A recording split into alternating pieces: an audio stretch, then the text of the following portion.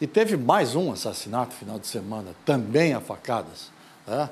Esse crime aconteceu no Panágua, zona sul aqui de Joinville. Veja aí.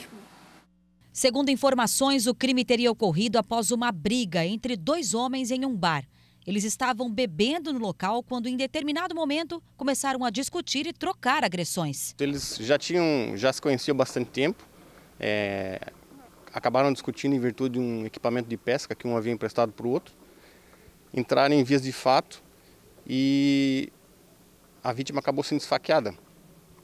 É, o outro rapaz acabou se evadindo né, do local. A vítima foi atendida pelo SAMU é, porém, durante o trajeto até o hospital, ela acabou sucumbindo aos ferimentos e entrou em óbito.